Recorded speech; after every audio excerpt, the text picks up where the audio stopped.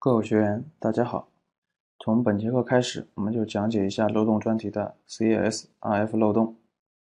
本节课主要讲解是专题概述，相信大家在前面很多节课中已经学习了其他的漏洞。那么 CSRF 漏洞主要讲解以下几个内容：第一个是介绍 CSRF 漏洞形成的原因；第二个是介绍漏洞的分类、检测和利用。最后一个是介绍漏洞的修复方法或者是防御方法。当然，修复和防御方法主要是代码层面的，而检测利检测和利用主要是通过半自动的检测。适用的学习对象主要是网络安全技术的初学者，学习的目标是了解 CSRF 漏洞形成的原因和危害。第二个是学会 CSRF 漏洞的检测方法。那么什么是 CSRF 呢？CSRF 就是 Cross Site Request Forgery 的首字母，就是 CSRF，啊，中文一般译作是跨站请求伪造，啊，因为经常入选 OWASP Top Ten。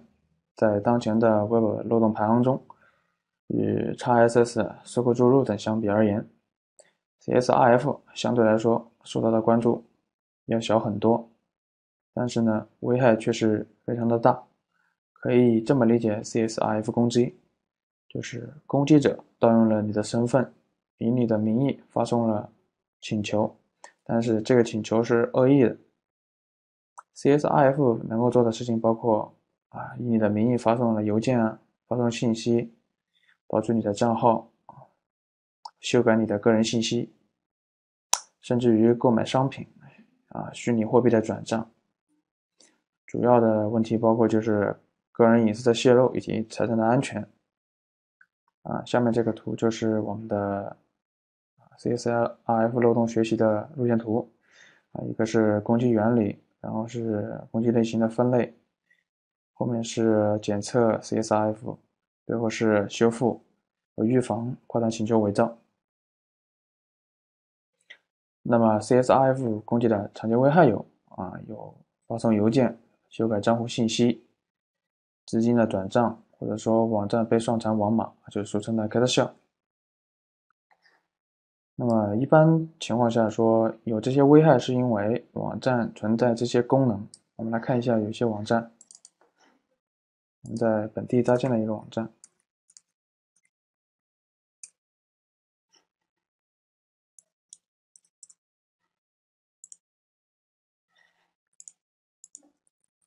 一般的情况来说，是因为后台的管理功能是比较强大的，可以看到可以上传文件，还有文件样式管理。这边我们可以试着创建一个文件，可以看到在服务器上已经保存了这个文件。如果说在新建文件这边存在一个 CSRF 漏洞的话，再配合一个啊，就是后台前台 XSS，然后管理员访问啊被 XSS 攻击到的话，然后在后面就是可以添加一个网码的攻击。可以写一句话之类的。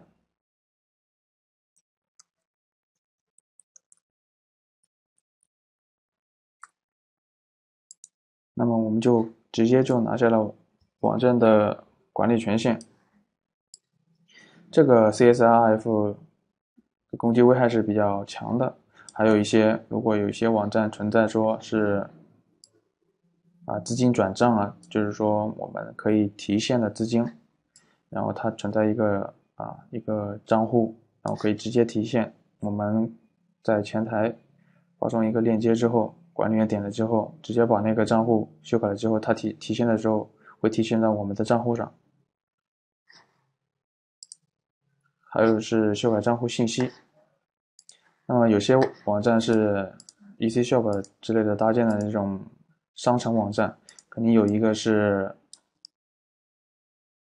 资金管理或者说是汇款账号，就是说大家买东西的时候往他的那个账号里面汇款。如果这个网站存在 CSIF 的话，我们可以通过 CSIF 修改它的汇款账号，啊，修改成我们的账号。大家买东西的时候汇款的账汇汇的款就汇到我们的账户之中。那么这个危害就是非常大了，因为涉及到资金啊、网站的管理这些，都是比较比较厉害的一些 CSF 漏洞。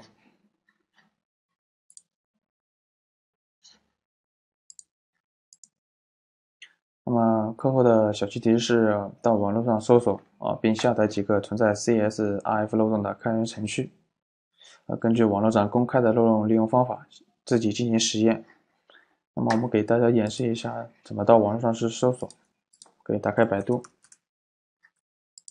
嗯，CMS CSIF，我们可以看到这边有一个 PHP CMS 组合进行 CSIF 攻击，啊，PHP CMS 后台 CF 加管理，就是在后台增加管理员的两种办法。还有什么云购 CMS CSIF get shell。啊，网站拿权限，或者是修改管理员的密码，哎，还有很多的，大家根据啊网络上公开的这些漏洞利用方法，自己进行下载，然后进行根据他们说的办法，然后进行 CSIF 攻击的利用。啊，现在不会利用没有啊没有关系，我们后后面会讲到怎么进行利用，怎么进行测试。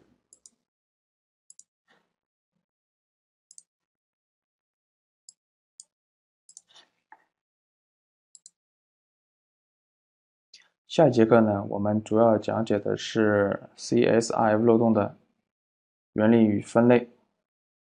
啊，最后感谢大家的观看。